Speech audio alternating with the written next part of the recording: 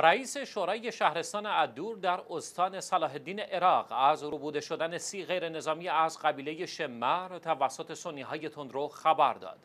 نواف الحسان رئیس شورای شهرستان ادور در استان صلاح الدین عراق اعلام کرد که تعدادی از عناصر داعش در منطقه جزیره صلاح الدین سی چوپان از قبیله شمر را روبوده اند و هفتن از آنان را به شهادت رساندند.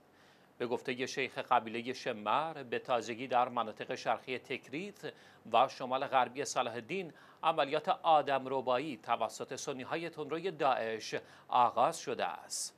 الحسان خاطر نشان کرد که 23 تن از این غیر نظامیان همچنان مفقود هستند و اجساد هفت تن نیز در غرب تلول الباج از توابع شهرستان اشرقات واقع در شمال غربی استان صلاح الدین کشف شده است. در همین راستا حیدر العبادی نخست وزیر عراق خواستار اقدام فوری برای نجات شهروندان و غیر نظامیانی شد که به گفته وی زندگیشان را به خاطر کمک به دولت عراق و نابودی داعش فدا کردند.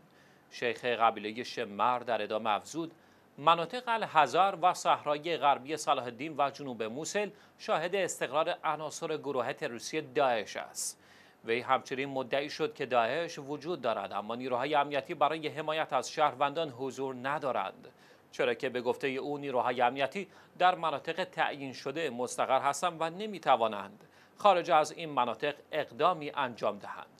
لازم به ذکر است برخی از حامیان سنی های تندروی داعش اخیرا علاوه بر حضور در مناطق اطراف دو استان صلاح الدین و دیاله در جاده بین بغداد و استان نفخیز کرکوک حملاتی را انجام دادند.